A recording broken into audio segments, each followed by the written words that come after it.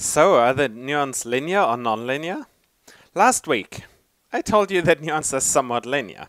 But keep in mind what we did. We just focused on part of the neural responses, namely those two positive currents. Now, is the leaky integrate and fire neuron linear?